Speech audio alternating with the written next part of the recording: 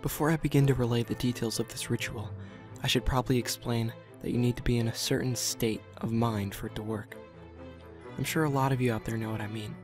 Even though I'm not the best person to be explaining human emotions, it's kind of churning, constant emptiness. A feeling that although you have no desire to die, life simply takes too long, and you would rather have another option. It is very important that you feel this way when undertaking the ritual, because another option is exactly what we'll give you. The details are as follows. I've tried to make it as simple as possible and cut down to the cryptic rubbish that my contemporaries often include in these things. But you need to appreciate how hard that is. We don't live by any constants as you do. We live in symbolism and meaning. Bread does not sustain us, but the idea of bread makes a very good meal indeed.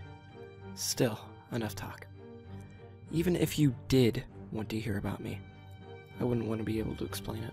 Apologies for this also, but if you're not a resident of the United Kingdom, you have a little traveling to do. The new world doesn't interest as much as the old ones, and this isn't going to be as convenient as finding any old hospital or halfway house.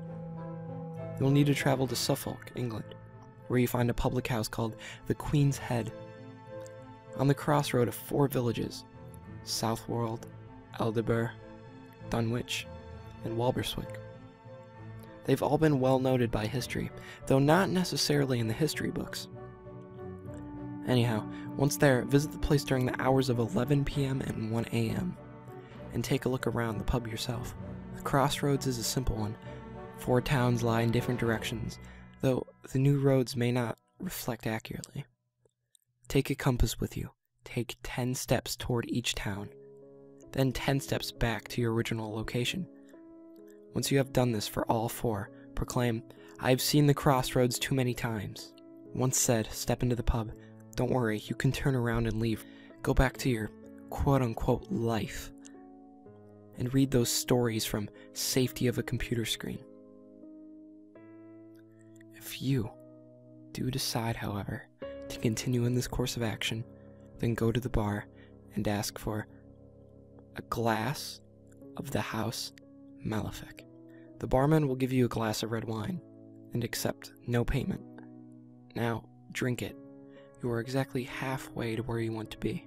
Once it's gone, he will tell you that you've had enough and ask you to leave. Do as he says, for though he is a good friend of mine, he is a very spiteful man with an old crow for a wife, and he delights in an excuse for a fight. When you leave, you will find a large black horse outside. Mount it, it's yours.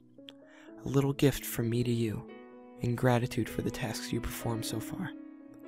The wine will have warmed you a little, I hope. It's going to be a long ride. It doesn't matter in which direction you travel. It never did. The roads will be old. Perhaps a dense fog will cover the tracks. Plow ahead. Do not deviate from the road. He may send a guard to veer from the mists and try to stop you, but keep moving. He may even send a loved one to plead that you slow down. This is a trick. It is me that he wants to stop. We have never seen eye to eye. The mist will pass, and you will see an end to the road ahead. A gorge of impossible death. Don't stare into it. Contrary to the popular belief, it doesn't gaze back, but it may hold you from your task. Neither of us want that, do we? To continue, you only need one thing ride the horse from the cliffside and plummet into the gorge. I never said this would be easy, did I? Don't worry, it's an exhilarating rush, for the most part. I shan't talk for the next few minutes of your trial. It would be improper, after all. Many don't make it this far. They suddenly decide they have too much to live for. what a joke. As though cowardice and misery were badges of honor. However, those that do have the courage for this, and I commend you, I truly do, will have but one final task ahead of them the hardest of all. He will appear to you. I've seen him before, more times than I would care to mention. And I know that this next part will be no easy task. You must deny him. He will show you your loved ones, those that have passed from life, and he will promise you a life with them. You must deny him. He will offer you bliss, a release from pain. You must deny him. Finally, he will offer his friendship and his regard. Deny him. His words are false, and you will find no sympathy with him. Finally, he will leave. Good. And now you will be alone. Now, for your gift, the reward for your efforts, no problem to a being like me. I will touch you upon the forehead once, and you will awake in your bed. You will find the most comfortable.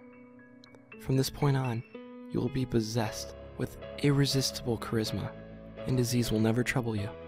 No wound will harm you, and no argument will sway you. You'll be one of my children, and you will recognize others as I have dealt with by the black fingerprint on their forehead. The only catch? There isn't one. I'm not like him. I don't deal punishments, I reward my children.